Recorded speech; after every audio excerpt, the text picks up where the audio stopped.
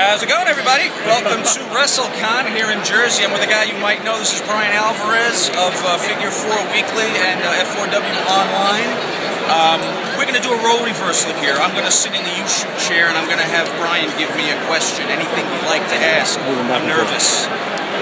I have been told that Sean here predicted The Rock is going over tomorrow. So, Sean, please explain to everybody why The Rock is winning at WrestleMania because I spent some time with future Hall of Fame inductee Les Thatcher, the great Les Thatcher.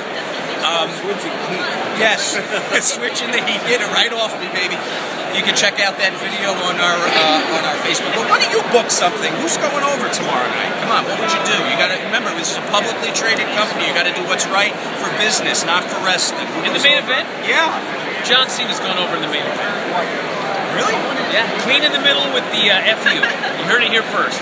Here first, that's Seneca Holmes. I really went out on a limb with that uh, prediction. So, yeah. Mad love. You see, board? Mad love.